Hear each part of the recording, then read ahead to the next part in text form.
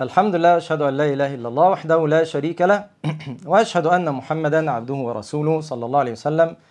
أما بعد أهلا ومرحبا بكم في اللقاء العاشر من لقاءات هذه السلسلة الطيبة المباركة.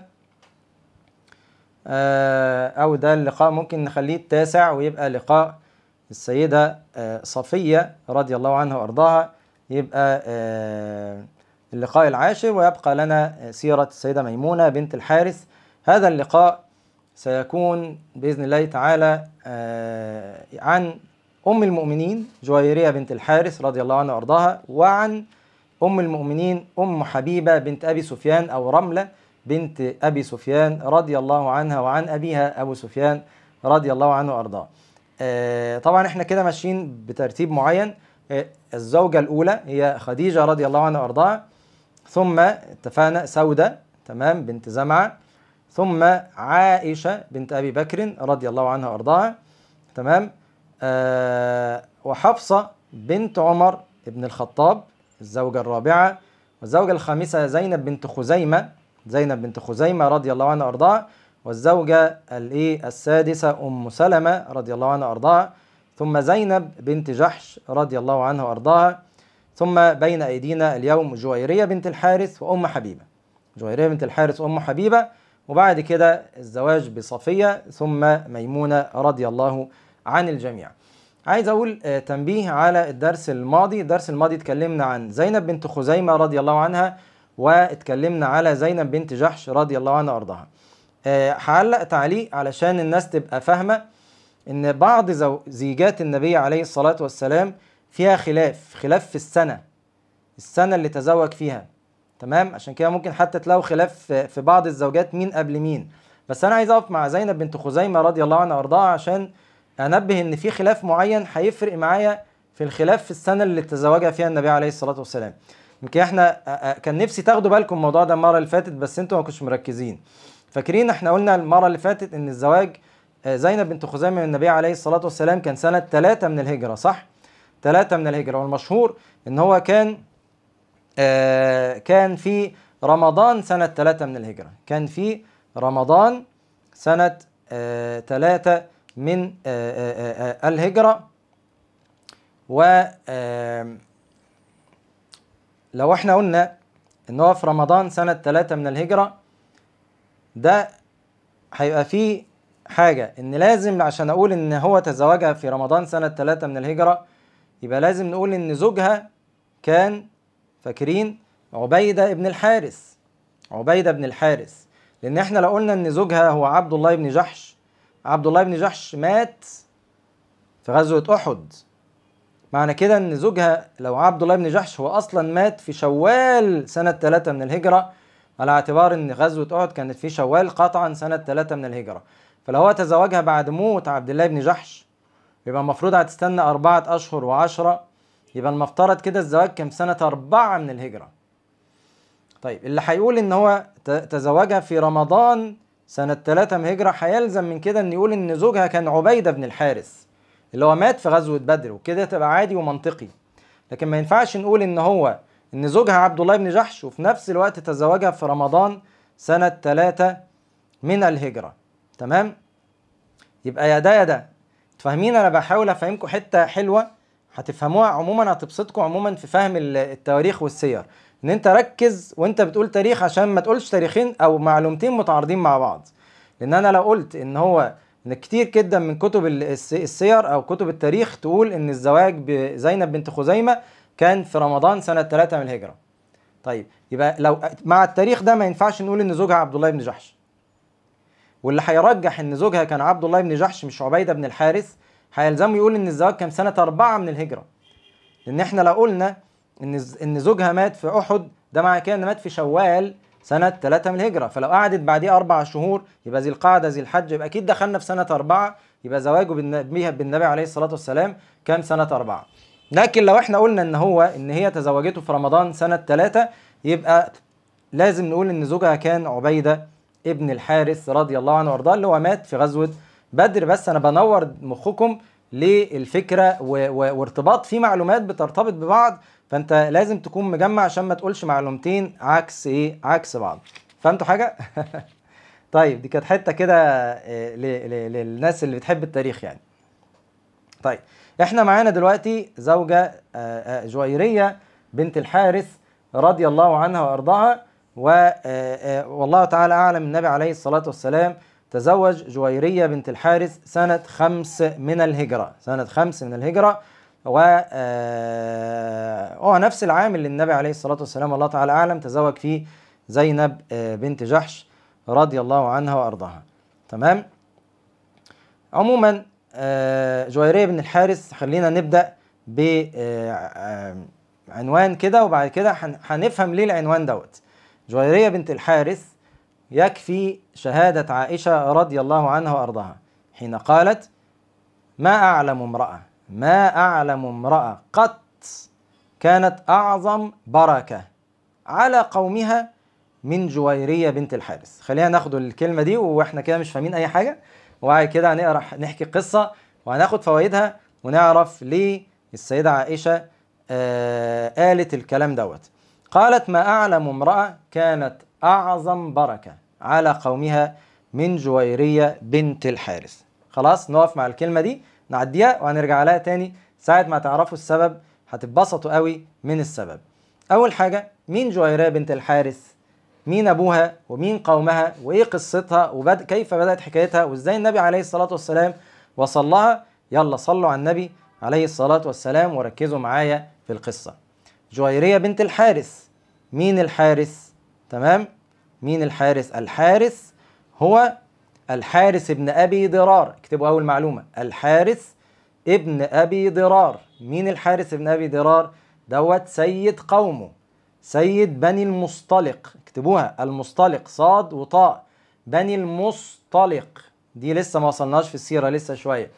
سيد بني المصطلق. تمام؟ هم اسمهم كده بني المصطلق. ده سيد قومه ودي بنته.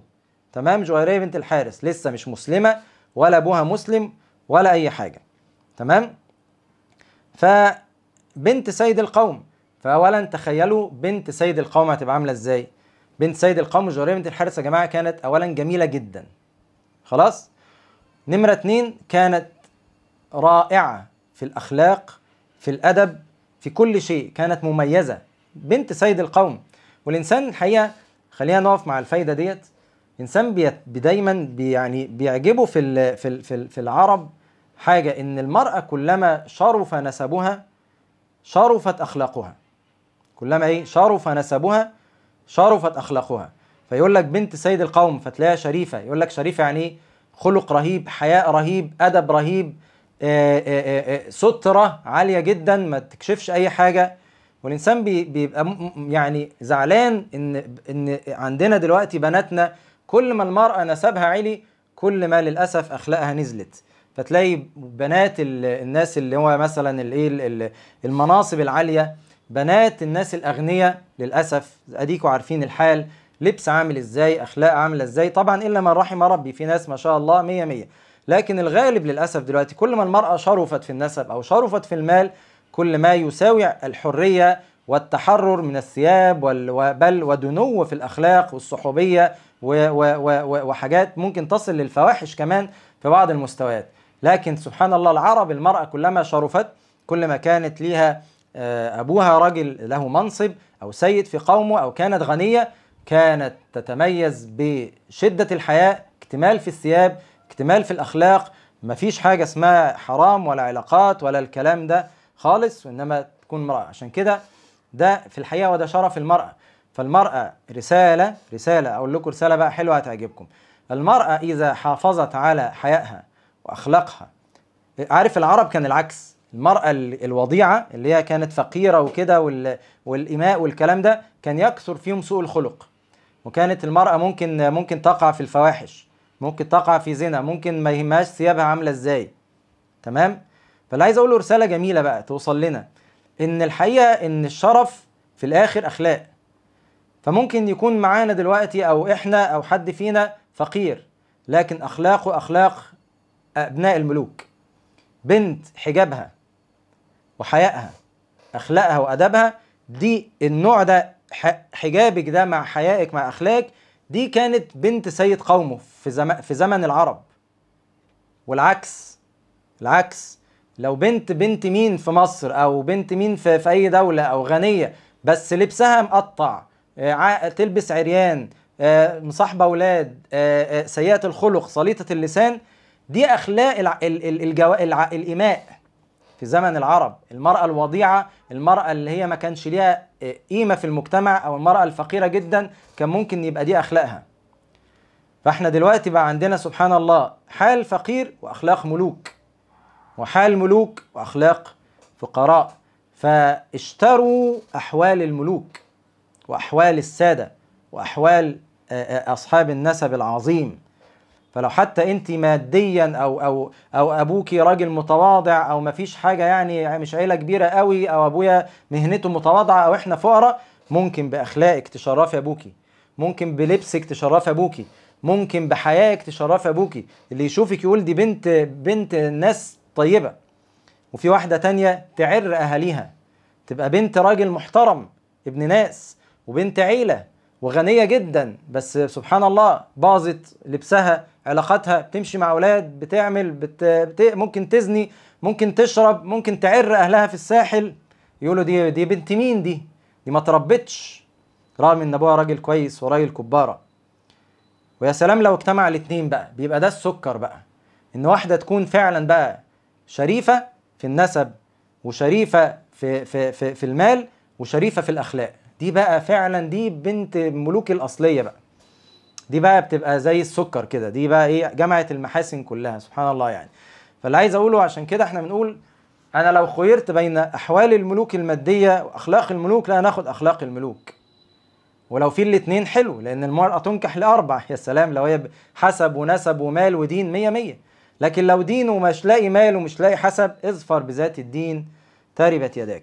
عشان كده العرب كانت المرأة يعني شوف جويرية بنت الحارث خد بالك هي دلوقتي كافرة وأبوها كافر صح؟ بس الم- ال- ال- المعدن نضيف قوي تربية عالية جدا. عشان كده دي مجرد ما أسلمت على طول وصلت لمنزلة أمهات المؤمنين. ممكن تقولي دي مش عائشة بنت أبي بكر. طب حفصة بنت عمر ماشي. طب عائشة بنت أبي بكر ماشي. طب خديجة ماشي. طب سودة ماشي. ده جويرية بنت الحارث. طب شوفوا دلوقتي الحارث ده عامل إزاي؟ الحارث ده كان أعداء الإسلام. فهي بنت عدو من أعداء الإسلام. طب إزاي مرة واحدة بقت أم من أمهات المؤمنين؟ المعدن نضيف قوي. خياركم في الجاهلية خياركم في الإسلام. فديت في ناس كده يا جماعة حتى بنشوف الموضوع ده في في الالتزام. في ناس ولاد ناس قوي. ولاد ناس متربيين بجد. يعني تحس إن هو هو هو ما بيصليش. هي هي هي حجابها مش تمام. تمام؟ ما بتصليش. بس متربية قوي. بنت ناس قوي. الكلمة بحساب ال- الحركة بحساب. لا ما ما ما لهاش في الشمال. هي آه حجابها مش تمام آه، بس هي مش قليله الأدب. آه ما بتصليش بس هي ما, ما لا ما, ما عندهاش لا الصح صح والغلط غلط بس هي تايهة عن شوية حاجات. دي بقى أو ده لما ربنا بيهديه ويتوب بيبقى حاجة روعة في الهداية. يا بخته بقى ده بيبقى حاجة فعلا كنز. إن هو الأصل نضيف والمعدن جميل وكمان اتحط عليه الهداية بيبقى تركيبة كده مبهرة. لأن أنت في حاجات اتوفرت في أهل ربه فوفروا لك ثلاث أرباع السكة. فاضل لي بس يلتزم. حجاب صلاة بتاع دعوة أوف تبقى حاجة جميلة. تمام؟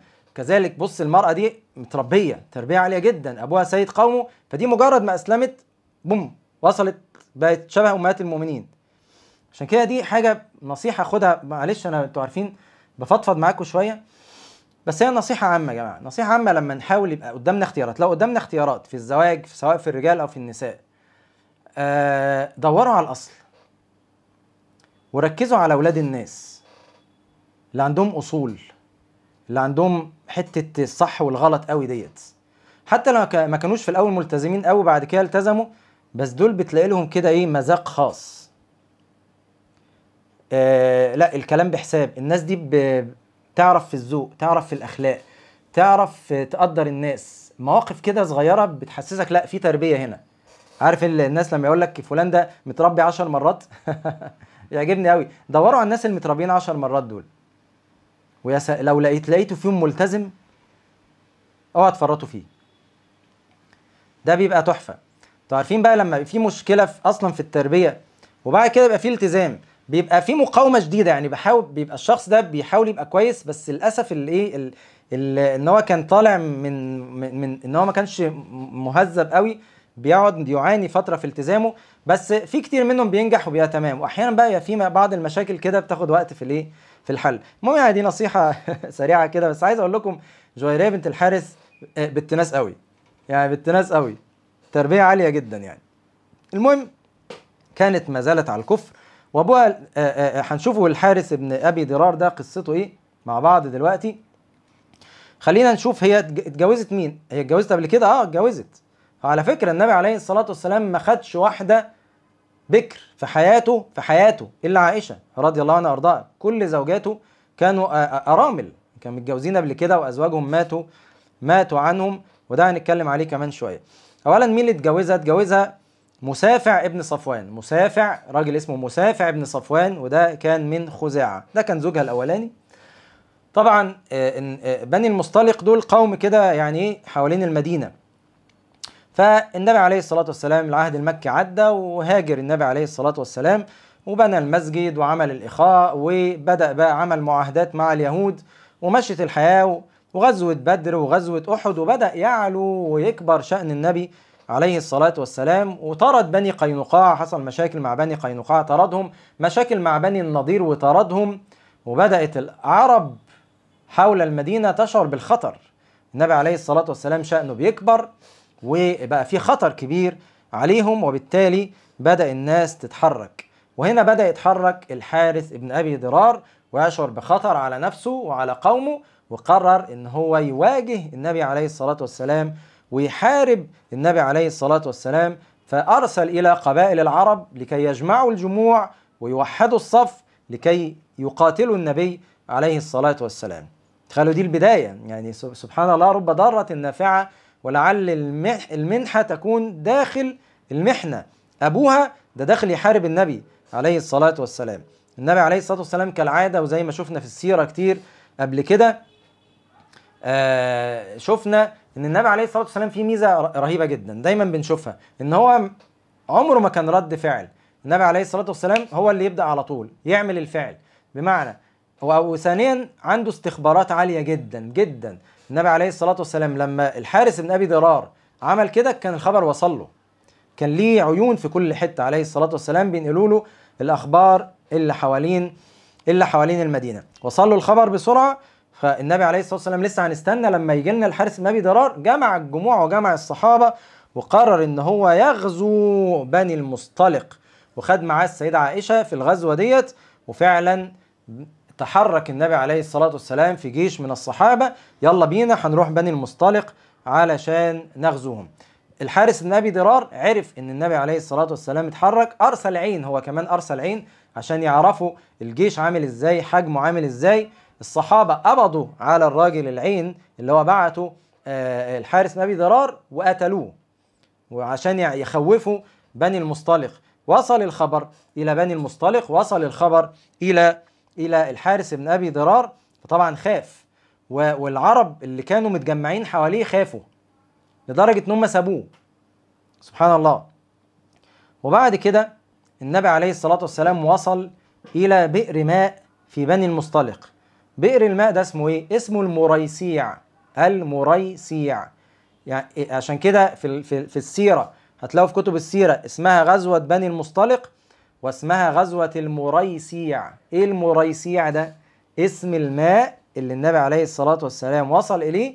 ده اسمه هو الماء كده تمام؟ زي ما نقوله مثلا آه، آه، نافورة المنشية. يعني إيه؟ أي حاجة. فهو الماء اسمه المريسيع. فالغزوة بتسمى المريسيع وبتتسمى بني المصطلق. زي ما بقول كده إيه؟ آه، اسكندرية والمنشية. ما أحيانا ممكن نقول حادثة المنشية حادثة اسكندرية. فهي بتتسمى بني المصطلق زي اسكندرية كده وبتتسمى المريسيع باسم الماء اللي اللي وقف عليه النبي عليه الصلاة والسلام.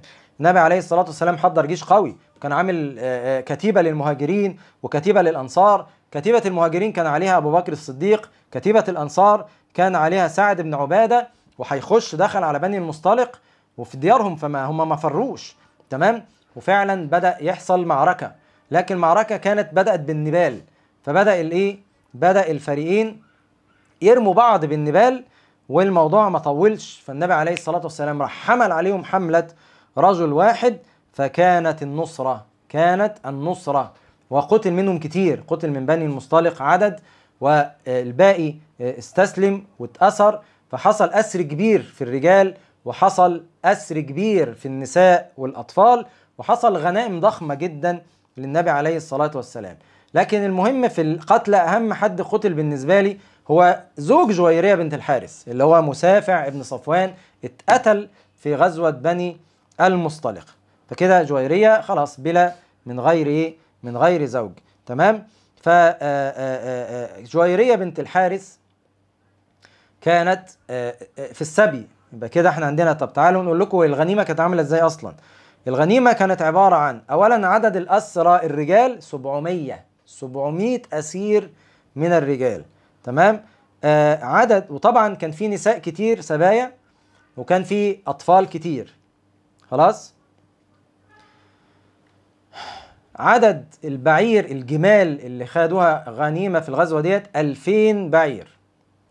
عدد الشياء اللي هو ال ال ال الخرفان والمعيز وكده 5000 شاة فكانت غنيمة كبيرة لدرجة النبي عليه الصلاة والسلام لما رجع المدينة المدينة انتعشت بالغنيمة ديت فاقوا كده.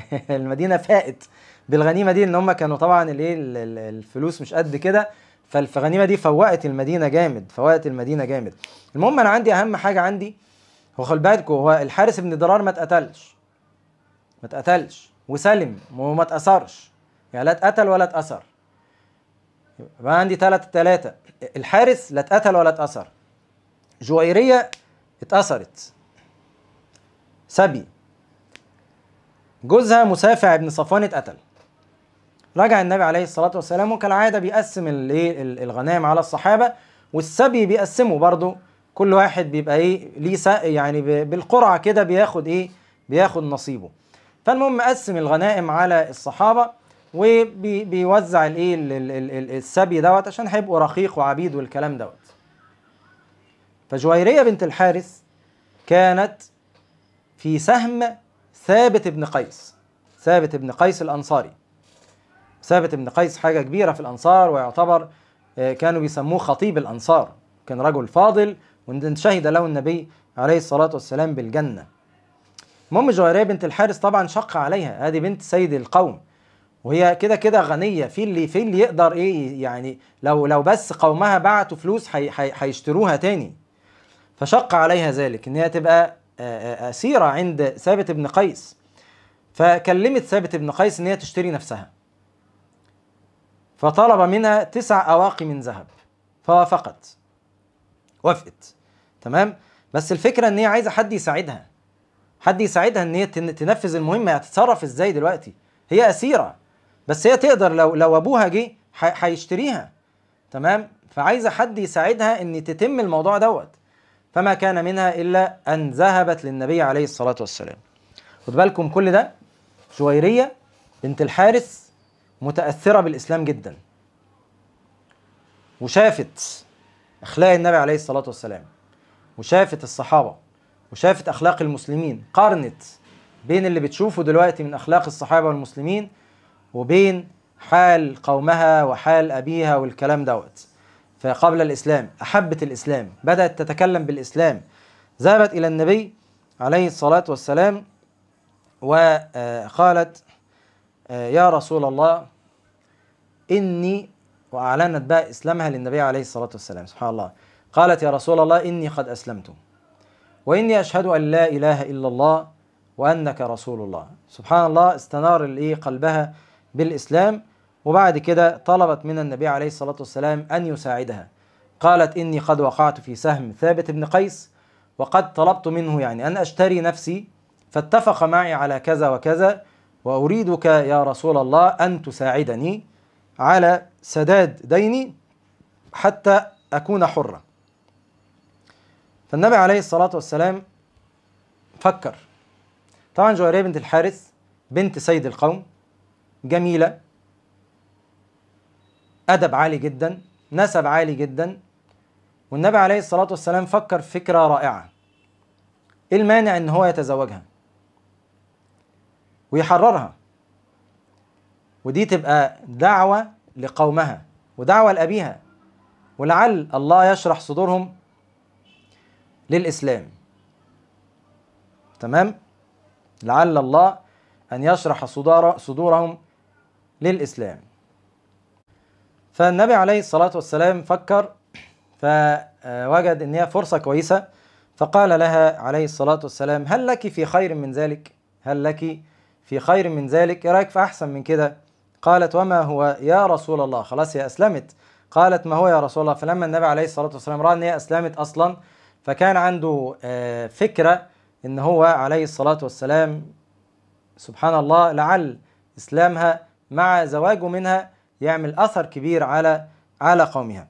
قال أقضي عنك أنا كتابك وأتزوجك. يبقى ده إيه؟ ده الصداق بتاعها. فجعل عتقها فجعل عتقها صداقها. يعني يعني أنا أدفع ثمنك وأتزوجك وأجعلك حرة وأتزوجك ويبقى هو ده مهرك. وهو ده إيه؟ هو ده مهرك. تمام؟ فطبعا أنتم متخيلين أصلا فرحة السيدة السيدة جويرية بهذا الخبر يعني كادت أن تطير من الفرح. كادت أن تطير من الفرح رضي الله عنها وأرضاها وقالت نعم نعم. خد بالكم من حاجة آه، السيدة جويرية ما كانش اسمها جويرية كان اسمها برة. فاكرين زينب بنت جحش رضي الله عنها وأرضاها؟ كان اسمها برة برضو صح؟ فالنبي عليه الصلاة والسلام آه، غير اسم جويرية بره إلى زينب. والمرة دي غير اسمها ما كانش اسمها جويرية هي كان اسمها بره فسماها النبي عليه الصلاة والسلام جويرية جويرية. تمام؟ خلينا آه، نحكي قصة موازية نحكي قصة موازية علشان آه، برضو قصة الزواج ده في في قصة موازية كده حصلت خلينا نقولها. في نفس الوقت اللي النبي عليه الصلاة والسلام كان بيتعامل فيه مع جويرية بنت الحارث وبيتفق معاها إن هو هيدفع ثمنها لثابت بن قيس ويحررها ويجعلها حرة ويكون دوت آه، آه، مهرها ويتزوجها عليه الصلاة والسلام. كان أبوها اللي هو الحارث بن أبي ضرار جاي ومعاه إبل كتير جايب معاه إبل كتير علشان يشتري آه، يشتري برة أو جويرية لأن طبعا بنت سيد القوم مش ممكن تفضل وده اللي بقول لكم هي كده كده كان حد هيجي يشتريها بس هي ما كانتش عارفة إمتى هيحصل. وفعلا الحارث بن أبي ضرار وصل قرب المدينة ونزل عند وادي اسمه العقيق وادي اسمه العقيق. المهم قعد شوية عشان هيخش المدينة خلاص بال- بالإبل عشان يشتري جويرية ففي اتنين من الإبل عجبوه. في اتنين من الإبل عجبوه. آه يعني عارف انت لما هيدي النبي عليه الصلاة والسلام حاجة وبعد كده في اتنين من الابل صعبانين عليه قال حلوين قوي. شكلهم حلوين أنا أشيلهم ليا دول. وفعلا خد الاتنين الإبل دول ربطهم في شعب في وادي العقيق ربطهم وقال وأنا راجع إيه هاخدهم دول عاجبني ومش مش هقدر أسيبهم. وفعلا دخل على النبي عليه الصلاة والسلام ودخل عليه على طول في الموضوع على طول. قال يا محمد قال يا محمد أصبتم ابنتي وقد جئت بفداء لها. وقد جئت بفداء لها جايب لها بعير أنا جاي أشتري جاي أشتري بنتي وتحرروها. فقال النبي عليه الصلاة والسلام فأين البعيرين اللذين غيبتهما بالعقيق؟ قال له في اتنين كده ما جوش آه، خبيتهم فين؟ قال فأين البعيرين اللذين غيبتهما بالعقيق؟ فقال الحارث بن أبي ضرار أشهد أن لا إله إلا الله وأشهد أنك رسول الله. والله يا رسول الله ما اطلع على ذلك أحد إلا الله إلا الله. المهم بعد أسلم. الحمد لله الحارث بن أبي ضرار أسلم بس برضه هو لسه ما يعرفش اللي حصل. فقال له خلاص بقى معلش يعني أنا هروح أجيبهم. وراح جابهم. يعني راح جاب البعيرين اللي هو خباهم واكتمل البعير. قال له يلا بقى إيه خد البعير وأنا عايز بنتي برضه مهما كان. فقال عليه الصلاة والسلام له أرأيت لو خيرناها؟ إيه رأيك نجيبها ونخيرها؟ تحب ترجع معاك ولا تفضل تفضل معانا قال له طبعا يا ريت أكيد هتختارني يعني ده أنا أبوها يعني. فهنا بقى فهم اللي حصل إن النبي عليه الصلاة والسلام عرض عليها الزواج واشتراها من ثابت بن قيس وهي وافقت. فقال آه، فقال لها النبي عليه الصلاة والسلام تختاري مين؟ فقالت اخترت رسول الله صلى الله عليه وسلم. فهنا اعتقها النبي عليه الصلاة والسلام وتزوجها بإذن طبعا الحارس ابن أبي درار. وكانت آه وهنا بقى حصل الموقف. هي كان عمرها كام سنة لما تزوجها النبي عليه الصلاة والسلام؟ كان عمرها حوالي 25 سنة.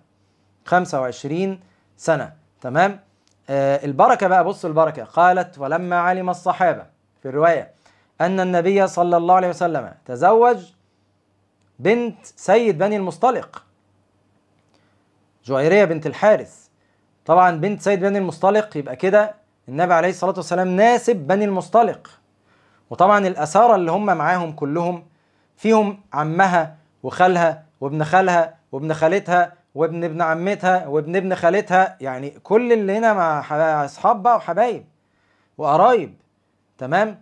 فالصحابة يعني يعني إزاي أنا يبقى يبقى النبي عليه الصلاة والسلام متجوز واحدة وخالها أسير عندي أو أخوها أسير عندي أو ابن خالها أسير عندي؟ يا جماعة دول دول نسايبه نسايب النبي يا جماعة ما يصحش كده. فاجتمع الصحابة وقالوا والله ما ينفع ابدا ما ينفع ابدا. النبي عليه الصلاة والسلام يناسب ناس وإحنا نأسر نسايبه.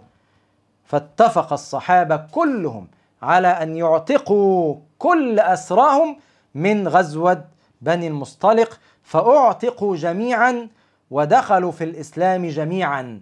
قالت عائشة فأعتق في ذلك اليوم أهل مئة بيت.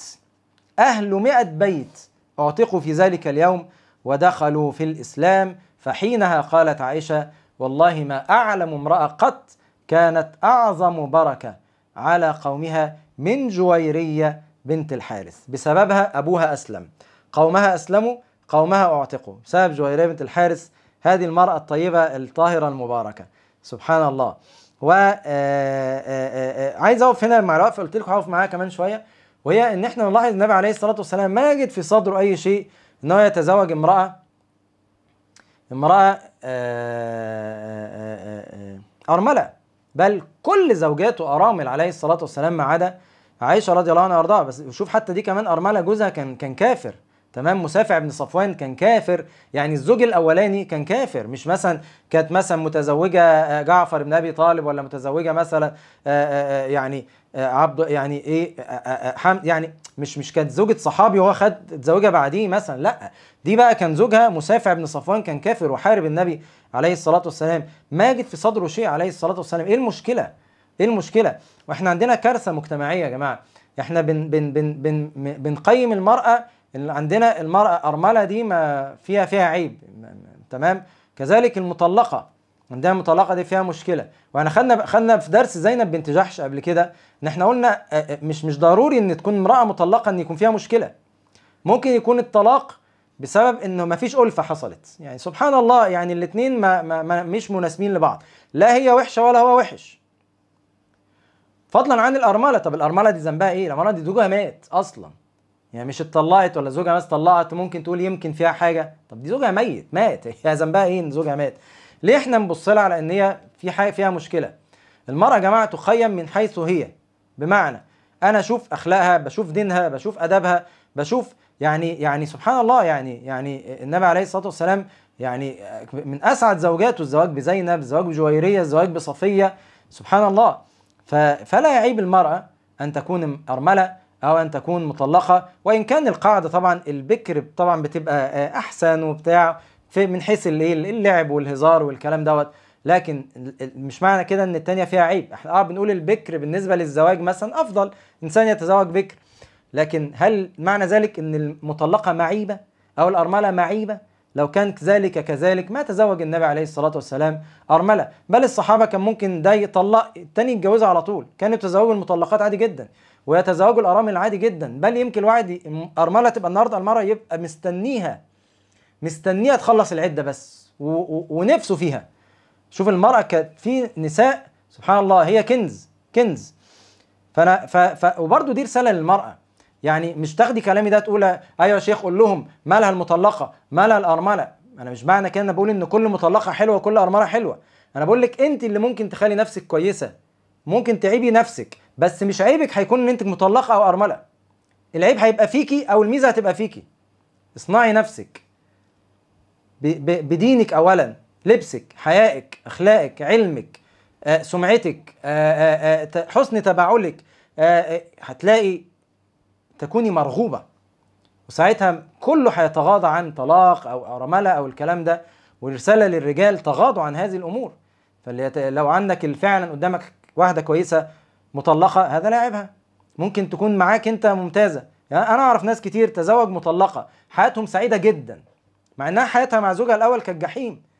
بس سبحان الله هي مش مناسبين لبعض. تزوجت واحد تاني اللهم بارك حياة رائعة. فضلا عن الأرامل. فأنا عايز أقول يعني يا جماعة رسالة المجتمعية يعني مجتمع مليء بالمطلقات والأرامل من يتزوج هؤلاء؟ وبالتالي المرأة هي تخلي نفسها مرغوبة بأخلاقها وحيائها وأدبها مش بإن هي تقلع حجابها وتقعد تتمايع. غلط. العكس. المرأة خد بالك أقول لكم بقى حاجة إحنا يا جماعة معشر الرجال أنا أعرف ناس كويسة وناس مش كويسة تمام؟ الناس اللي مش كويسة لما بتيجي تتجوز بتجيلي وتقول لي يا شيخ علاء دور لنا على واحدة كويسة. الراجل ممكن المرأة اللعوب يلعب بيها لكن ما يتجوزهاش. لما يتجوز يقول لك لا أنا عايز واحدة دي في وشي دي مراتي دي هتربي عيالي. شوف لي واحدة شيخة. خد بالكم الراجل لما يفكر في زوجة غير لما يفكر في واحدة يلعب بيها. فلما انت تبقي غالية وتبقي ممتنعة وتبقي مشهورة بالأدب والأخلاق والدين والتبعل وتعرفي تظبطي بيتك وبتاع ألف من يتمناك وهيجيلك الكويس. المهم يعني دي خاطرة كده في وسط زيجات النبي عليه الصلاة والسلام. واحد بيستغرب هو إيه اللي منعه يتجوز يعني يعني أبكار عليه الصلاة والسلام؟ سبحان الله عادي.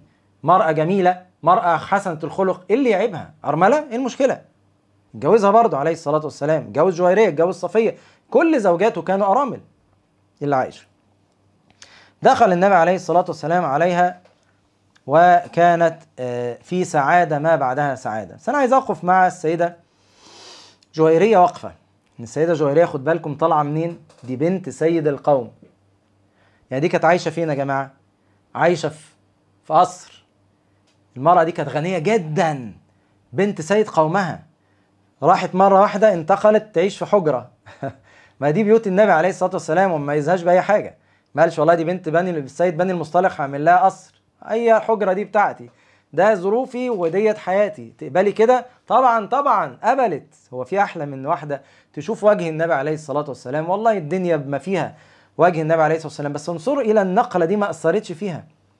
لأن هي رضت بزوج حسن الخلق. برضو رسالة للمرأة ممكن مستواك الاجتماعي نزل شوية لما اتجوزت بس زوجك راجل ما شاء الله سكر جميل تقي نقي طيب.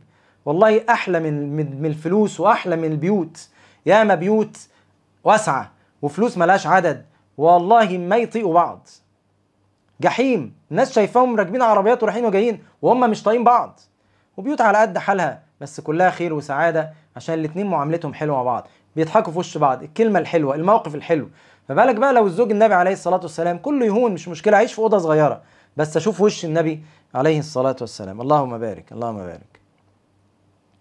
جويرية النبي عليه الصلاة والسلام كان بيحب يعلمها قوي. واضح إن هي كانت مجتهدة. أنت عارف المعلم لما يلاقي عنده تلميذ مجتهد بيحب يميزه كده ويديله شوية معلومات يعني. فكانت جويرية من ساعة ما أسلمت باين عليها الاجتهاد قوي في العبادة الاجتهاد في الطاعة الأدب الأخلاق وطبعا زي ما قلنا بالتناس قوي يعني.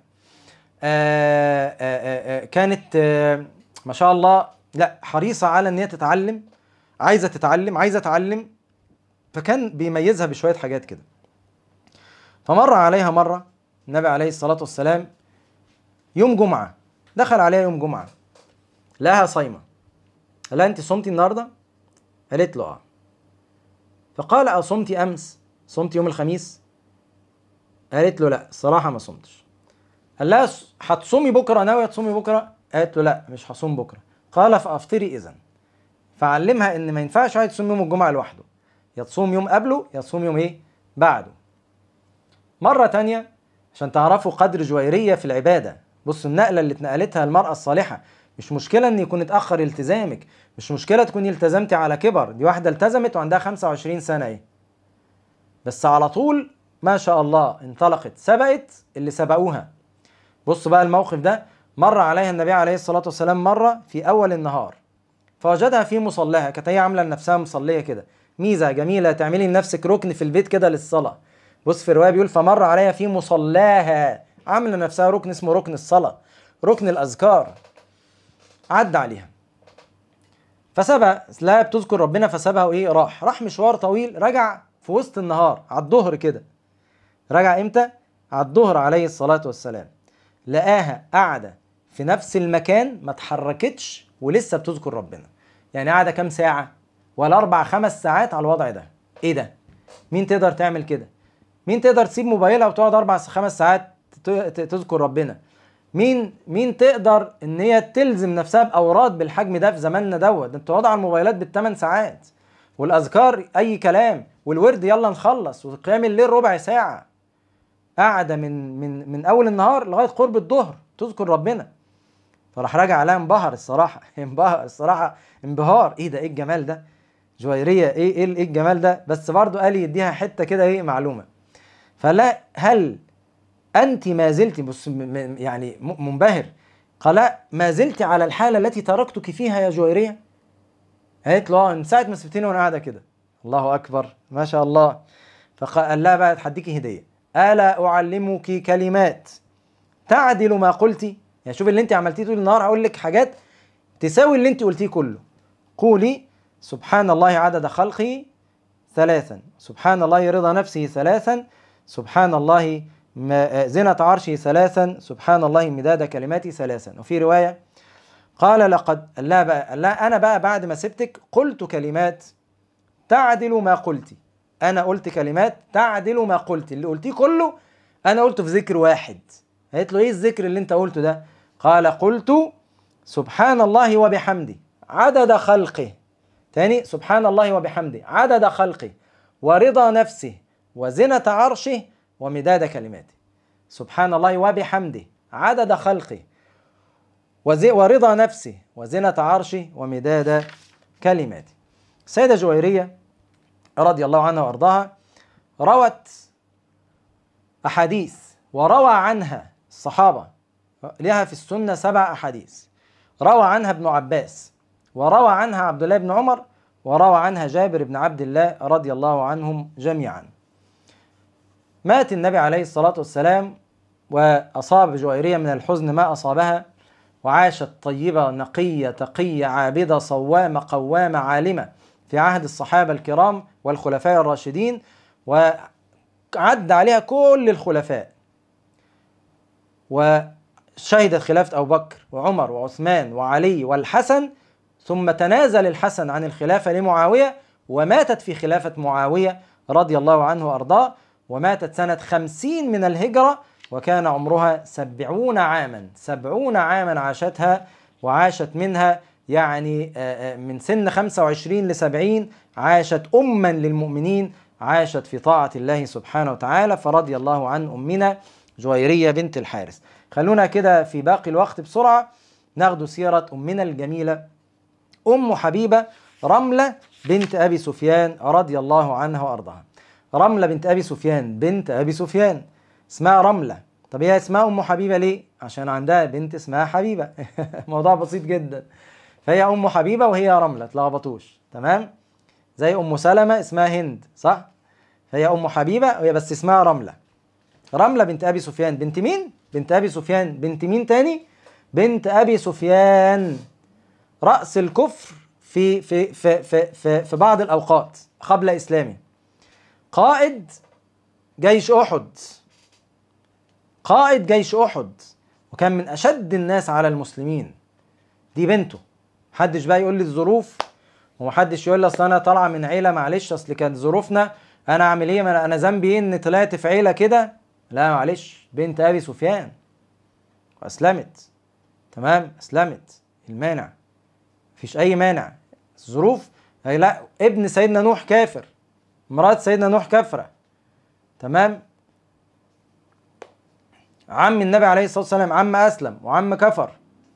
فهي المسألة قلوب والمسألة بيد الله سبحانه وتعالى. لو انت في ظروف صعبة وأردت الخير ربنا أراد يهديك والله ما يضلك حد. ولو انت في أحسن ظروف كل عيلتك شيوخ وربنا أراد لك ما أرادش بيك الخير والله ما يهديك حد. عاشت رملة مع أبيها فترة. وبعد كده مين اللي اتجوزها بقى؟ برضو تزوجت قبل النبي عليه الصلاة والسلام. تزوجت عبيد الله بن جحش. مين عبيد الله بن جحش؟ أخو عبد الله بن جحش. عبد الله بن جحش وأخو زينب بنت جحش. يبقى دوت عبيد الله بن جحش ده ابن امام آه أميمة. عمة النبي عليه الصلاة والسلام أميمة بنت عبد المطلب. عمة النبي عليه الصلاة والسلام. فعبيدة بن جحش يبقى ابن عمة النبي عليه الصلاة والسلام. وده كان متجوز رملة بنت أبي سفيان. ده في البداية. حلو؟ وعارفين إحنا عبد الله بن جحش هو أول واحد أسلم في العيلة زي ما قلنا قبل كده وردع كل عيلته فأسلم عبيد الله بن جحش وأسلمت زينب بنت جحش وحمنة بنت جحش وام حبيب وحمنة تزوجت مصعب وأم حبيب تزوجت عبد الرحمن بن عوف الكلام ده قلناه المرة اللي فاتت. بعد ما عبيد الله بن جحش كان أصلا متزوج رملة بنت أبي سفيان في الوقت دوت كان زوجها بالفعل. فلما هو أسلم هي أسلمت فكانت من أوائل من أسلم. من أوائل من أسلم. تخيلوا بقى يعني أم حبيبة هو اتجوزها متأخر وهنشوف اتجوزها إمتى.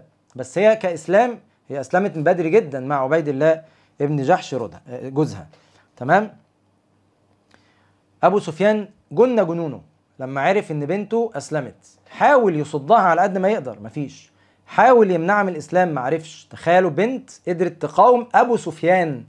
أبو سفيان قائد أحد اللي, اللي يعني فعل الأفاعيل بالمسلمين ما قدرش على بنته.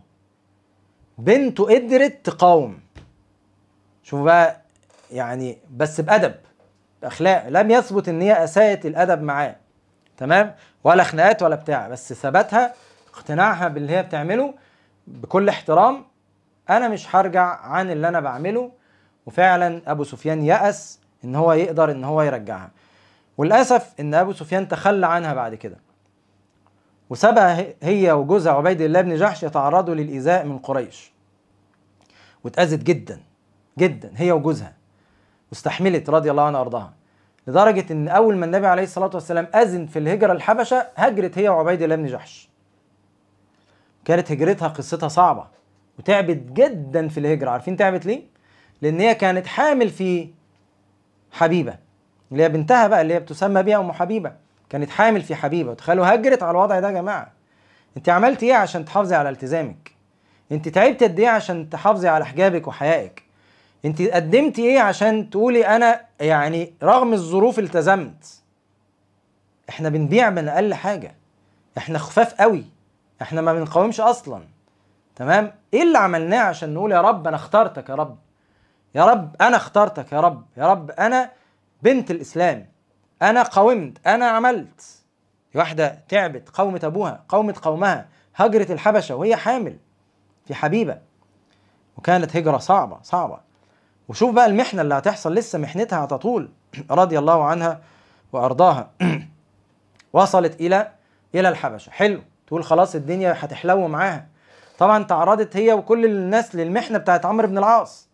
لما عمرو بن العاص يعني كان كان وصل لهم وكاد إن هو يوقع بينهم وبين النجاشي وكانت أيام صعبة جدا والمسلمين كانوا مهددين إن هو لو لو فعلا عمرو بن العاص نجح في مكره هيطردوا من الحبش هيرجعوا لقومهم.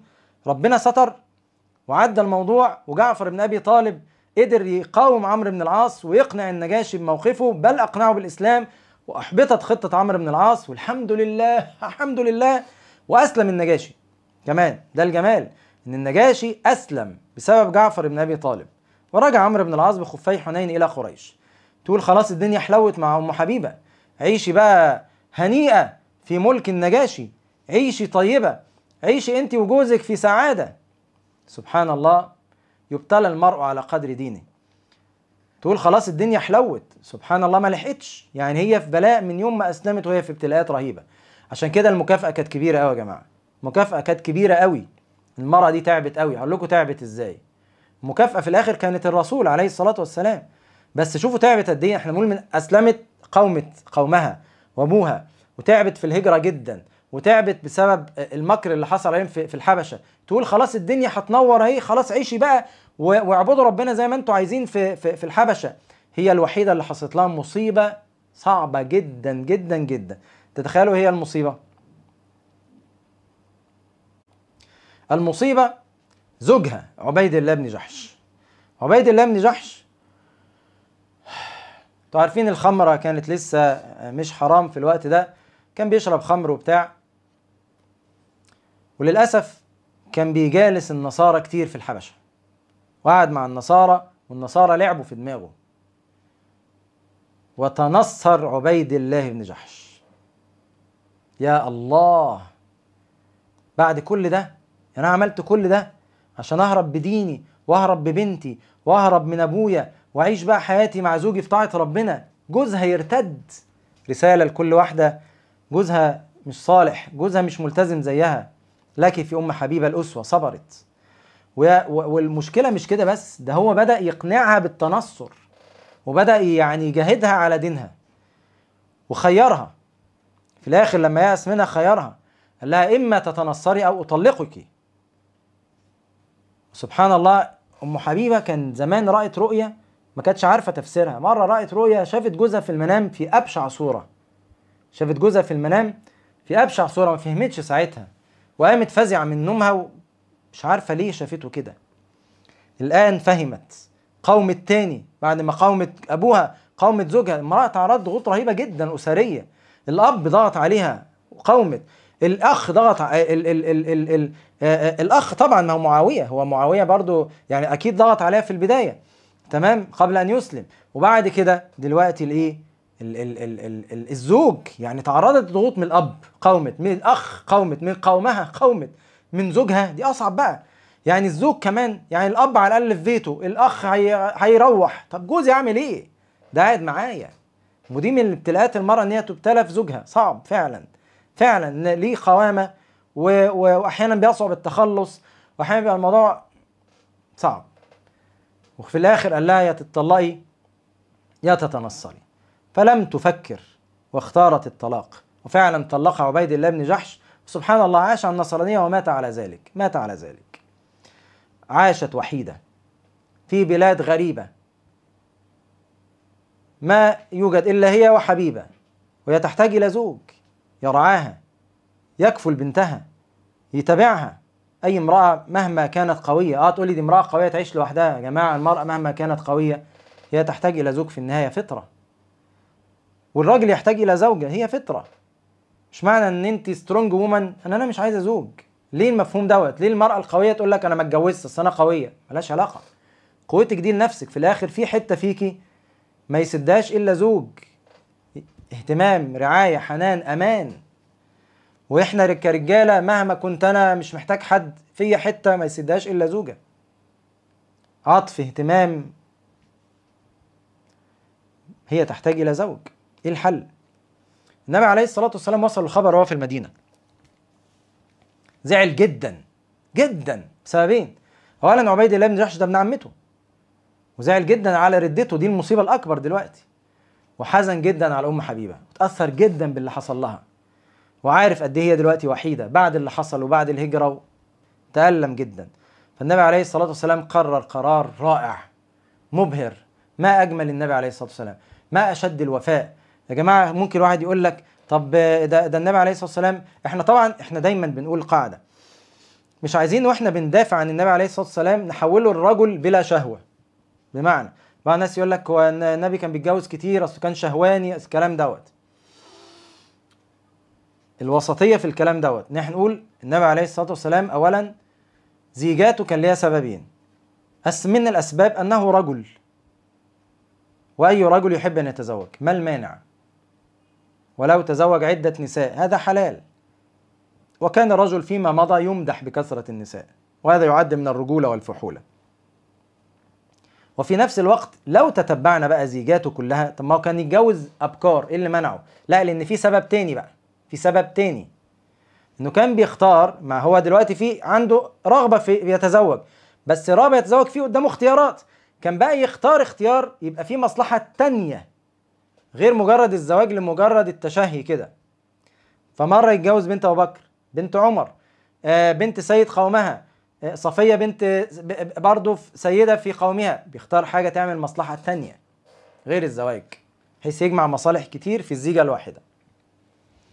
الحقيقة بقى إن زواجه من أم حبيبة يؤكد الموضوع ده إن هو فعلا كان بيركز في المصلحة. أحيانا أكتر من موضوع إن هو يكون راغب في المرأة نفسها.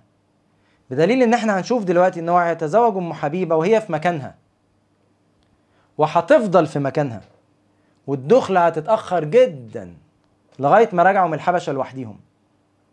ما هي مش هترجع له لوحدها هيرجعوا كلهم. طب هو هيتجوزها ليه كده؟ الدافع الوفاء الدافع ال- ال- ال- العطف على هذه المرأة المسكينة التي لا زوج لها الدافع المكافأة. يطيب خاطرها تعبت جدا. وهو متابع قصتها من الأول. ما هي ما هي مرات ابن عمته ما هو عارف قصتها من الأول. الدافع رفق النبي عليه الصلاة والسلام ورقته. وفي نفس الوقت بنقول هو هو رجل أراد أن يتزوج لا يعيب هذا الأمر. لكن إحنا نحول الموضوع بقى لصورة الرجل الشهواني اللي ما وراهوش غير النساء. لما كان يتجوز أبكار صح؟ كان يتجوز من هم أجمل وأغنى. كان ممكن يعمل حاجات كتير. لكن هو الوسطية. هو تزوج قال وكان يقول حبب إلي من دنياكم النساء. ولعل ربنا قذف في قلبه كده عشان تكثر زوجاته لأن ده في مصلحة للدين بعد كده. إن كثرة زوجاته معناه انتشار العلم انتشار أخباره جوه بيته. تمام؟ عليه الصلاة والسلام. فكان الزوجات بينقلوا الأخبار بينقلوا الأحاديث بيعلموا الناس بيعرفوا جوه بيت النبي عليه الصلاة والسلام بيحصل إيه. المهم بس برضو الزيجة دي بتظل بنسأل أي حد بيتكلم في الحتة دي نقول له طب هو اتزوج أم حبيبة ليه؟ ده لا هي قدامه ولا شايفها ولا شايفاه وعارفها طبعا. والدخلة ما كانتش بعد الزواج على طول ده قعد مدة على ما رجعت له. أنت عارف رجعت له إمتى؟ رجعت له بعد غزوة خيبر. رجعت له في سنة سبعة من الهجرة سبعة من الهجرة. النبي عليه الصلاة والسلام عمل إيه بقى؟ عمل حركة جميلة.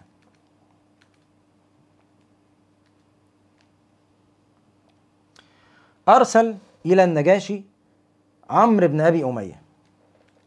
أرسل إلى النجاشي مين؟ عمرو بن أبي أمية صحابي. هو النبي عليه الصلاة والسلام سمع وصلوا إن النجاشي دخل الإسلام. بس هو عايز يتأكد من كده عشان الخطوة اللي جاية. هتشوفوا هي الخطوة اللي جاية. أرسل إليه عمرو بن أبي أمية. عمرو بن أبي أمية أرسل له رسالة. بعث معه رسالة يدعوه إلى الإسلام. قال له بعت له الرسالة دي عشان عايز أتأكد أنت تقول لي بنفسك تشوفه بنفسك وتأكد إن هو أسلم. فأرسل له رسالة.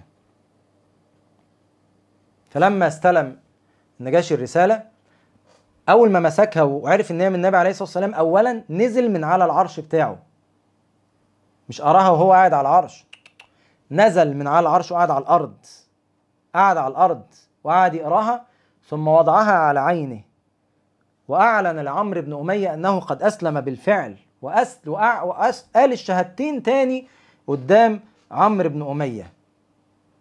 وقال له والله لو كنت عند النبي صلى الله عليه وسلم لذهبت إليه ولجلست بين يديه ولوضعت رأسي عند قدميه. لو كنت عند النبي صلى الله عليه وسلم لذهبت إليه ولجلست بين يديه ولوضعت رأسي عند قدميه. فرضي الله عن النجاشي هذا المؤدب الخلوق الرائع الراقي. عارفين لما مات النجاشي النبي صلى عليه في المدينة صلى عليه صلاة الغائب. فلما عمرو بن أمية اطمن إن إن النجاشي أسلم عمل إيه بقى؟ أهم حاجة هي دي دي الأهم دي اللي جاية بقى. هو هو كان عارف إنه مسلم بس هو قال يتأكد عشان اللي جاية. بقى طلع الرسالة التانية. إيه الرسالة التانية؟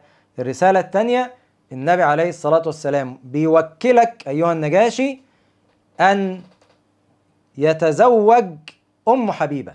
وانت الوكيل بتاعه. أوه إيه؟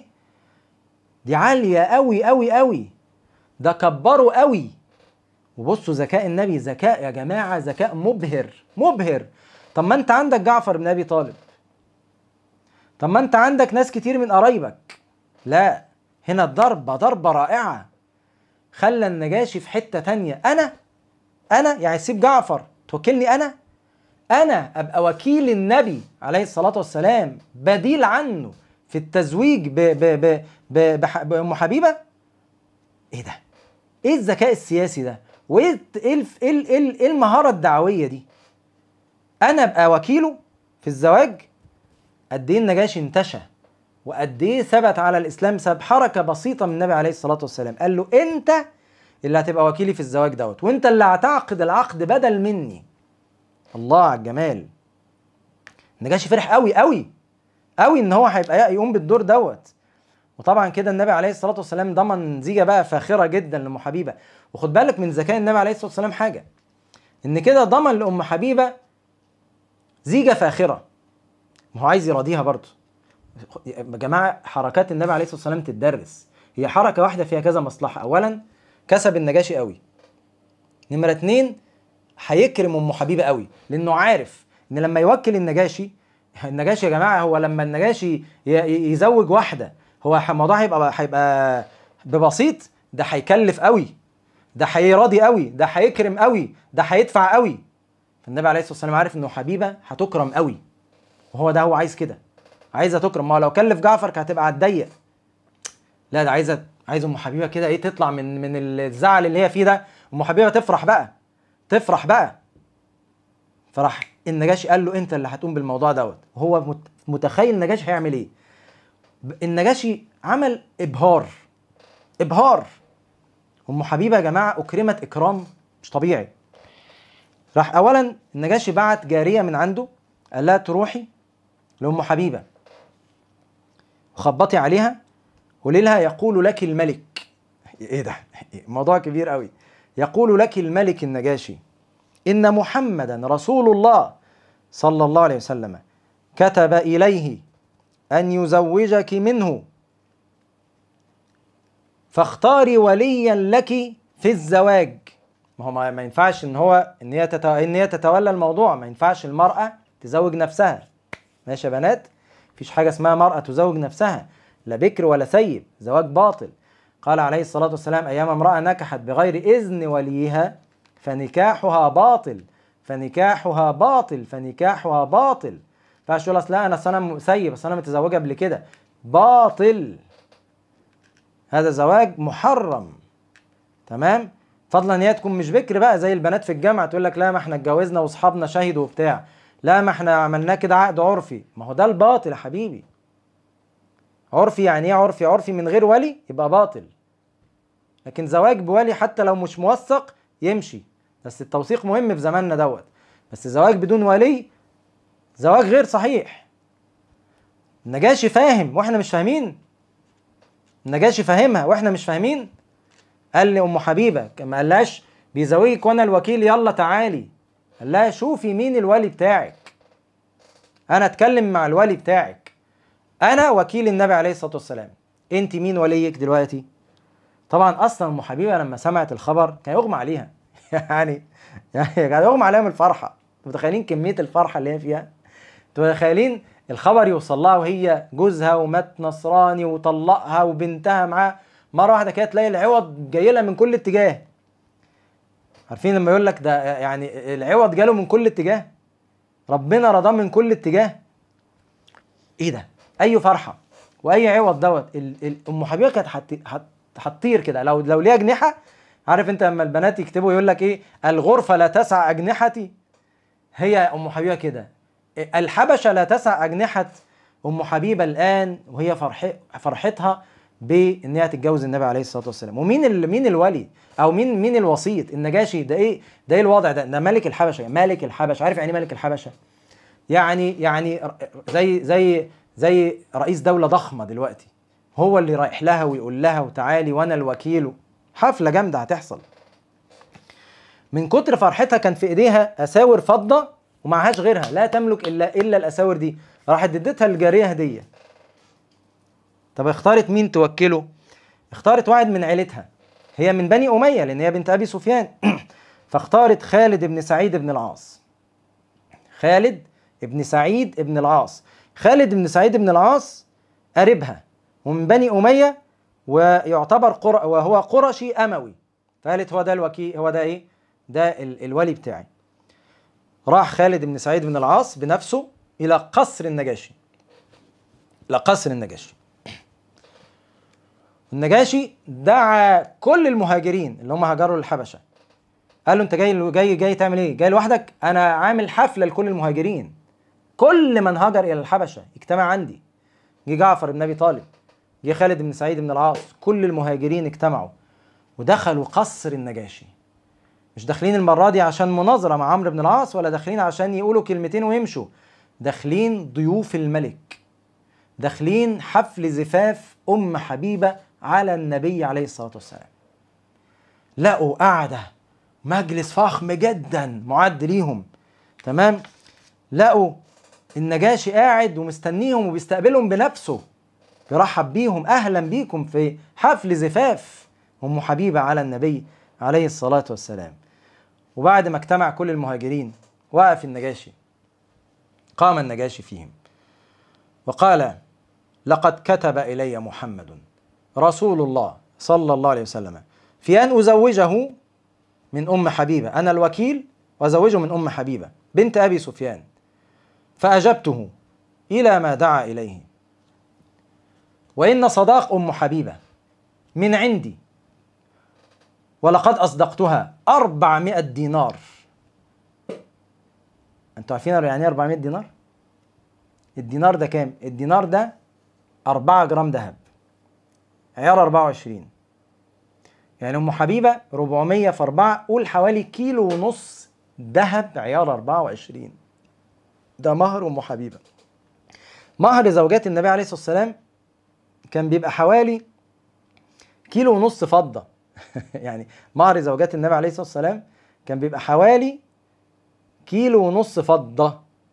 أم حبيبة الوحيدة اللي مهرها كان كيلو ونص ذهب عيار 24 النجاشي قال لك انت وكلتني.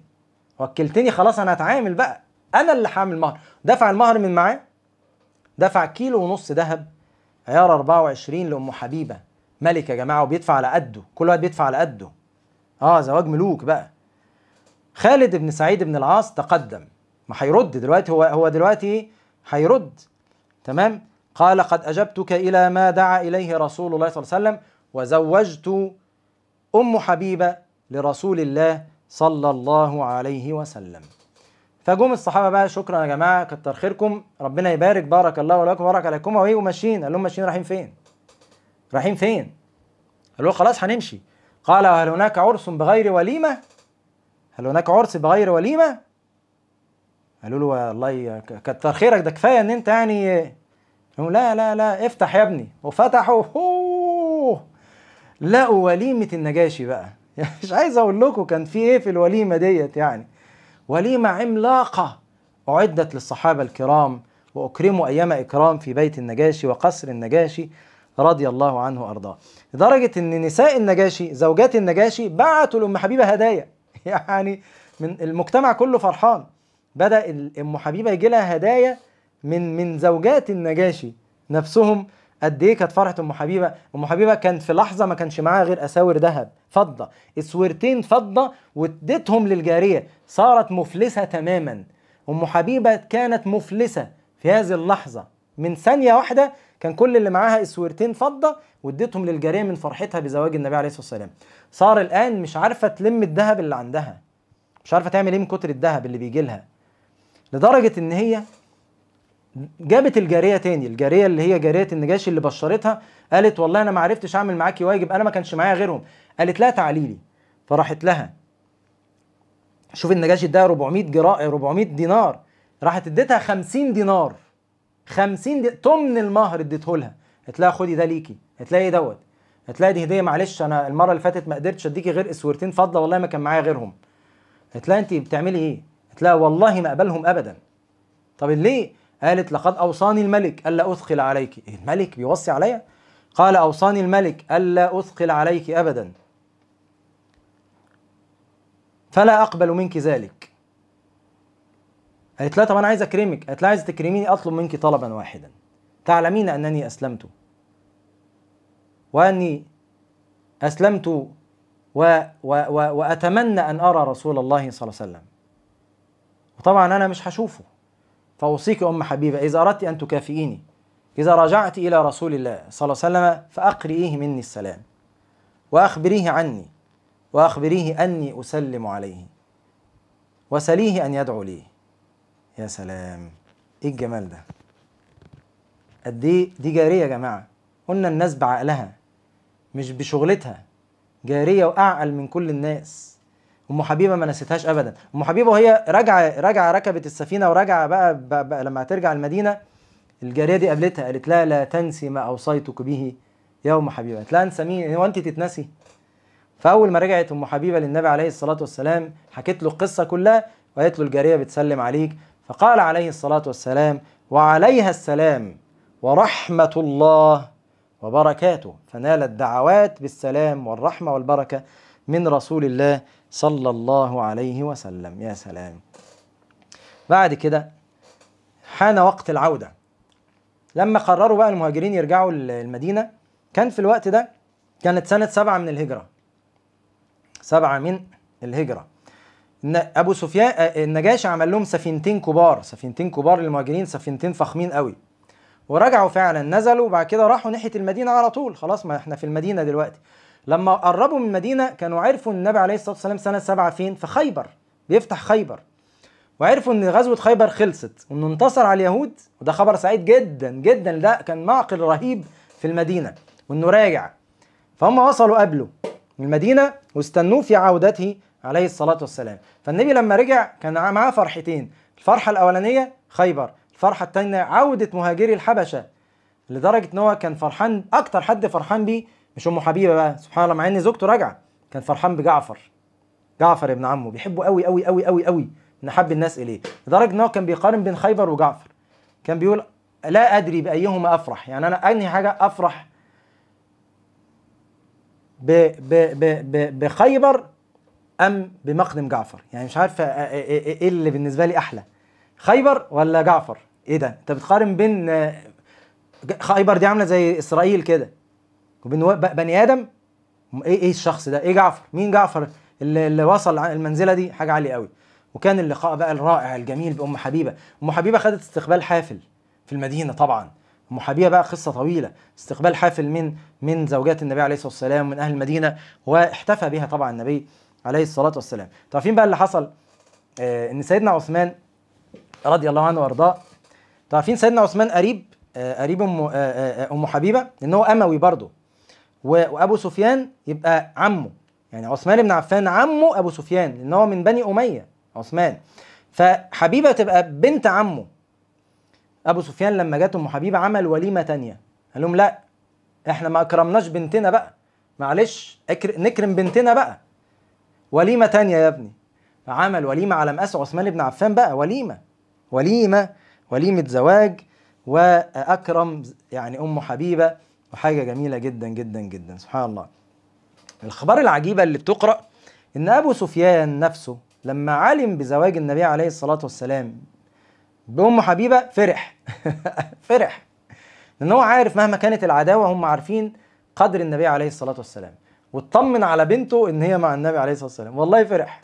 قال هذا رجل لا يقدع أنفه لا يقدع أنفه يعني لا يرد. ومثله يشرف يعني. بعد كده اللي حصل أم حبيبة عاشت مع النبي عليه الصلاة والسلام. حصل بعد كده كنتوا عارفين كان في صلح بين المسلمين وبين المشركين اللي هو صلح الحديبية إن ما يبقاش في حرب ما بيننا. اللي حصل إن قريش نقضت الإيه؟ العهد دوت. فأبو سفيان عرف إن طالما نقضنا الصلح النبي عليه الصلاة والسلام من حقه يجي يفتح المكة فخاف. وإحنا مش مستعدين لقتال. فقال يعمل مبادرة يروح المدينة ويعتذر للنبي عليه الصلاة والسلام ويطلب منه يمد الهدنة وما يخرقهاش أو يعني ما, ما يفتحش مكة ويسامحهم على خرق الصلح اللي حصل دوت. فاضطر يروح المدينة ودخل بأمان. فدخل النبي عليه الصلاة والسلام ما ردش عليه. لف على الصحابة محدش رد عليه. فعرف إن كده إيه الدنيا صعبة. طب يريح فين؟ يروح عند مين؟ مين يقبله؟ مين يستقبله؟ قال لك مفيش غير بنتي. ما شافهاش من زمان من زمان ما شافهاش. وهي ما شافتوش من زمان. وخبط على بيت أم حبيبة. الله فتحت لقت ابوها ياه سنين السنين ما شفناش بعض. استقبلته وكانت هادية في الأول معاه. بس هو على الكفر وهي على الإسلام. وبعد كده دخلت دخلته عادي. تعمل معاه كويس. لكن أراد أبو سفيان يقعد بقى. طبعا أصلا الغرفة ما فيهاش ما فيهاش غير فراش النبي عليه الصلاة والسلام بس هو ده المكان اللي اتقعد عليه. فأبو سفيان عادي داخل يقعد بقى فلقى فراش النبي عليه الصلاة والسلام فجاي يقعد عليه. فأم حبيبة راحت لمت الفراش وما رضتش إن هو يقعد عليه. فبص لها كده إيه؟ بنتي بتعمل فيها كده؟ فقال يمكن أنا مش في حاجة غلط. قال اغربت ارغبتي ارغبتي بي عن الفراش يعني الفراش مش قد مقامي؟ ارغبتي بي عن الفراش يعني أنا مقامي أعلى من الفراش دوت فيعني ما يصحش أبويا يقعد على حاجة بسيطة زي كده. أم رغبتي بالفراش عني؟ ولا الفراش أنا ما ينفعش أقعد عليه عشان هو أحسن مني؟ فردت عليه على طول قالت بل هو فراش رسول الله صلى الله عليه وسلم وأنت رجل مشرك فلم أحب أن تجلس عليه. يا الله يا الله على القوة يا الله على الولاء والبراء يا الله على حب الإسلام والتمسك به يعني هو النبي عليه الصلاة والسلام نفسه لو كان أبو سفيان دخل كان يقعده مكانه عادي. بس هي بقى تقول لك لا والله ما ارضاها ابدا. لا ما يقعدش مكان النبي عليه الصلاة والسلام. ده أبوها ما شافتوش بقى لها سنين. يعني ومهما كان برضو ال ال الأب أب. بس سبحان الله مشهد اتصدم أبو سفيان اتصدم. بنتي تعمل فيها كده؟ فقال لقد أصابك بعدي شر يا بنيتي. قالت لا والله ما أصابني شر بل أصابني كل الخير. لقد هداني الله للإيمان وأكرمني وأنعم علي بالإسلام. طلع أبو سفيان كلمش. عرف إن هو كده خلاص. أنا عايزك عايزك تبقي كده. لما واحدة تقول لك إيه اللي إيه اللي أنت عاملاه في نفسك ده؟ إيه النقاب ده؟ وإيه وإيه التشدد اللي أنت فيه؟ أنت الدنيا باظت معاكي. لا ما باظتش. ده ربنا أكرمني بالهدايه ده عقبالك. ربنا ربنا يهديكي زيي لما تحسي بالنعيم اللي أنا فيه. تخليش واحدة تهددك. فيش واحدة تحسسك إن أنت في لا إيه ده؟ إيه اللي عملتيه في نفسك ده؟ يا بنتي ده أنت كنت زي القمر. يا بنتي ده أنت كنت الجامعة كلها تلف حواليك يا بنتي ده أنت كنت لو تشاوري كده بس تجيلك أحلى عريس. إيه اللي؟ ليه كده؟ ردي على طول. ما تنكمشيش. لا مين؟ مين قال لك أنا أحسن؟ يا ريت ده أنا ندمان على الأيام ديت. أنا الآن في خير. الحمد لله من عليا بالهداية والالتزام والاستقامة وعقبالك. عاشت أم حبيبة بعد كده فترة لغاية ما النبي عليه الصلاة والسلام فعلا راح يفتح مكة. وفي الفترة ديت حصل أحد أجمل الأخبار اللي سمعتها أم حبيبة في حياتها إن أبو سفيان أسلم أخيرا. بذكاء النبي عليه الصلاة والسلام لما كبر أبو سفيان وهو بيفتح مكة وقال من دخل دار أبو سفيان فهو آمن. أبو سفيان انتشى كده وحس النبي اداله وضعه شوفوا كم حركة ذكيه بيعملها. حركة ذكيه مع النجاشي حركة ذكيه مع أبو سفيان. فكر دعوي يا جماعة الدعوة ذكاء مش كلمة بترميها وخلاص. طب ما أنا ممكن أرمي كلام زي ما أنا عايز. بس في فنيات بنكسب بيها الناس. في حركات دعوية أكسب بيها قلبك. يقول لك أصل أنا بكلمها وهي ما بتعبرنيش. لا دي ما فيهاش خير. أنت اللي بتتكلمي مش كويس. أنت مش عارفة تعملي مواقف تكسبي بيها. في أرضية مواقف بنعملها بنكسب بيها الناس. أوصيكم سماع درسين ليا اسمهم فن الدعوة الفردية؟ واحد واثنين اكتبوا على اليوتيوب فن الدعوة الفردية. هنعرف إن إحنا بن... إحنا اللي بنغلط أحيانا. بصوا الكلام. كبر أبو سفيان دخل في الإسلام. فام حبيبة مش عايز أقول لك الفرحة اللي هي فيها أبويا دخل في الإسلام. وبقى استقبلته لما راحت بقى مكة أحلى استقبال وحرارة اللقاء والحب وال... والأحضان. أبوها كأن أبوها كان ميت ورجع لها. بعد فترة حصل خبر صادم لأم حبيبة تألمت بيه جدا. تخيلوا إيه الخبر دوت؟ عشان تعرفوا أم حبيبة دي قد إيه امرأة وفية نقية. وصلها خبر وفاة النجاشي. يا الله. طبعا أنتم متوقعين وفاة النبي عليه الصلاة والسلام؟ لا. في خبر كان صعب قبليه. النجاشي مات. النجاشي اللي أكرمها وأحسن إليها. النجاشي اللي, اللي عمل فرحي. اللي, اللي ليه يد عليا. ما انساهاش. اللي دفع مهري. حزن رهيب بكت بكاء على النجاشي ما بكتوش على قرايبها. بكت بكاء على النجاشي رهيب وتألمت جدا لموت النجاشي. وبعد كده حصلت المصيبة الأكبر. مات رسول الله صلى الله عليه وسلم وازداد ألم أم حبيبة ولكن بعد ذلك عاشت فترة طويلة بعد موت النبي عليه الصلاة والسلام. برضو عاشت زي جويرية وصلت إلى خلافة معاوية بس ماتت قبل جويرية بنت الحارث. جويرية ماتت سنة 50 من الهجرة أم حبيبة سنة ماتت سنة 44 من الهجرة. 44 من الهجرة في خلافة أخيها معاوية. طبعا معاوية ده أخوها. أخوها كان خليفة. كانت بقى أم حبيبة بتتعامل معاملة الملوك. دي أخت الخليفة. يعني تخيلوا وضع أم حبيبة في الدولة عامل إزاي. بس ما زالت هي أم حبيبة متواضعة تقية نقية طيبة لا تعوجت ولا تكبرت ولا أنا كنت مرات أنا مرات الرسول واخت الخليفة ولا تحس بأي حاجة. هينة لينة طيبة. بص بقى أقول لكم دليل على تواضع أم حبيبة رغم إن هي ممكن تقول ده أنا مرات اخت الخليفة وأنا زوجة فلان وأنا وأنا وأنا وأنا بنت أبو سفيان. رغم ذلك عشان تعرفوا قد إيه كانت عاشت متواضعة طيبة رقيقة. لما حضرتها الوفاة آخر موقف هنقوله. لما حضرتها الوفاة. عملت إيه أم حبيبة؟ دي امرأة مين أخت الخليفة أخت الملك معاوية بنت أبو سفيان زوجة رسول الله صلى الله عليه وسلم أرسلت إلى عائشة. عائشة اللي هي أصغر منها. ودعتها. وهي خلاص على في الآخر قالت يا عائشة أعلم أنه قد حصل بيني وبينك بينك مواقف بسبب الغيرة لا يسلم منها الضرائر. وإني يا عائشه أسألك بالله أسألك بالله أن تحليني من أي إساءة وقعت مني إليك أو أي موقف أغضبك مني. فقالت عائشه والله يا أم حبيبة يعني إيه؟ قد جعلتك في حل من كل شيء. مين يزعل منك؟ وأنا مش زعلانة أصلا وأنا قلب أبيض. إحنا آه بيحصل بينا حاجات زي الضرائر عادي بس عمر القلوب سليمة. وأنا أزعل منك ليه؟ قالت لها كتر خيرك. مشت عائشة؟ قالت لها عايز أطلب منك طلب. ادعي لي أم سلمة. جابت أم سلمة. وقالت لها نفس الكلام. قالت لها أم سلمة أنا عارفة بيني وبينك عشان إحنا ضرائر. ممكن حصل مواقف ضايقتك مني أو يمكن كلمة زعلتك أو حاجة. أنت زعلانة مني في حاجة أم سلمة؟ هتلاقي ابدا. أنا أزعل منك في إيه؟ ده خلاص الأمور دي بسيطة والقلوب صافية. ومفيش حاجة أم حبيبة. فاتبسطت أم حبيبة. سبحان الله ما دعتش غيرهم وكان هي بس يمكن حصل موقف موقفين مع عائشه أم سلمة بس مفيش حد تاني زعلان من أم حبيبة. وماتت راضية مرضية في خلافة معاوية. وماتت وهي مش عايزة من حد حاجة ولا حد عايز منها حاجة. الله على الست الجميلة اللي تموت وهي مصفية حساباتها. أو ما تكونش ليها حسابات مع حد أصلا. تخيلوا بقى إحنا عايزين نعتذر لكام واحد قبل ما نموت. يا الله.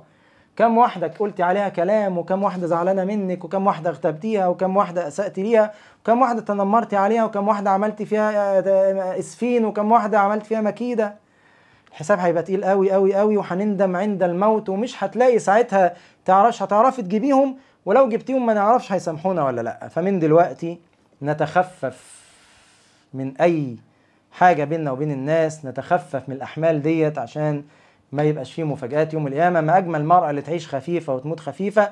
ولو زعلت من حد أو زعلت حد تعتذر ليه بسرعة علشان النفوس تصفى قبل ألا يكون درهم ولا دينار. ماتت أم حبيبة الطيبة الجميلة. كده خدنا قصتين النهاردة. جويرية بنت الحارث الجميلة وأم حبيبة الجميلة. يا رب اجمعنا مع زوجات النبي عليه الصلاة والسلام في الفردوس الأعلى. يا رب اجعل كل بنات المسلمين مثل يعني أخلاق وأدب وتقوى ودين زوجات النبي عليه الصلاة والسلام. يا رب اجمعنا بهم ولو بحبنا لهم. الحمد لله. سبحانك اللهم ربنا وبحمدك. أشهد أن لا إله إلا أنت. أستغفرك وأتوب إليك. السلام عليكم